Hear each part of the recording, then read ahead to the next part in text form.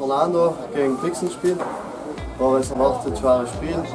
Wir waren, es war sehr taktisch geprägt.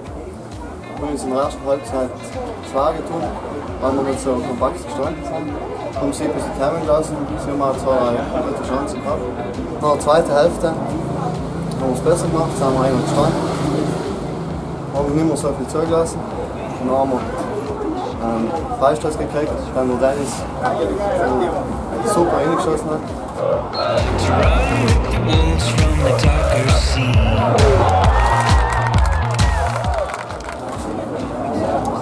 Ja, und dann haben wir das Spiel zu unseren Gunsten gelaufen.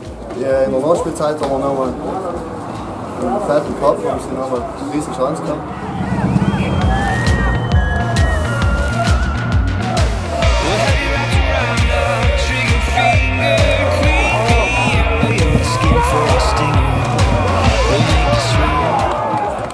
War gegangen. Jetzt fahren wir uns ziemlich weit.